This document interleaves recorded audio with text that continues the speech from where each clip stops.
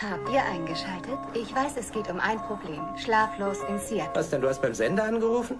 Er hat am Heiligen Abend bei so einer Radioseelsorge angerufen und hat gesagt... Dass sein Vater eine Frau braucht. Und diese Irre zwingt den Mann tatsächlich ans Telefon und sagt... Was war so besonders an ihrer Frau? Naja, Dr. Marsha Fieldstone, ich denke, es war ihre... Magie. Magie. Schlaflos in Seattle? So hat sie ihn in der Sendung genannt, weil er nicht schlafen kann. Und jetzt wollen 2000 Frauen seine Nummer. Lieber schlaflos in Seattle. Sie sind der tollste Mann, dem ich je das Ohr geliehen habe. Er könnte ein Junkie Nein, sein. er klang wirklich sehr nett. Die Chancen, einen Marsmenschen zu treffen, sind größer, als mit 40 einen Ehepartner zu finden. Quatsch, die Statistik kann nicht stimmen. Hast recht, irgendwie stimmt sie nicht. Aber dem Gefühl nach doch. Sandy hat eine Freundin, Glenda. Sie ist Gewichtheberin. Nun, ich will damit nicht sagen, dass ihr Nacken dicker als ihr Ich Kopf habe nicht ist. gesagt, dass du mir helfen sollst. Was ist mit Walter? Walter und ich haben uns verlobt.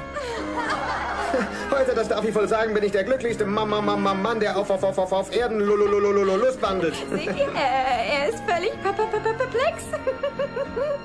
Wann warst du das letzte Mal mit einer verabredet? Ähm, Jimmy Carter, 78.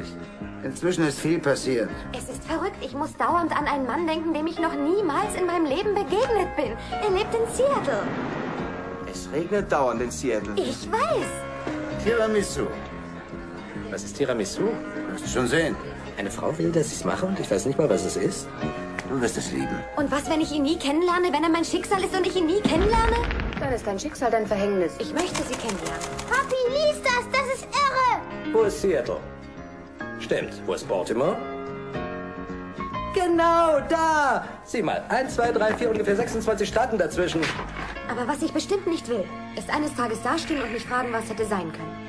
Und wissen, ich hatte es in der Hand. Ist das verrückt? Ich will dir doch nur erklären, worauf Frauen gucken.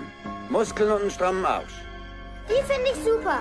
Auf keinen Fall werden wir ein Flugzeug besteigen, um eine Frau kennenzulernen, die eine irre, kranke Wahnsinnige sein könnte. Hast du verhängnisvolle Affäre nicht gesehen?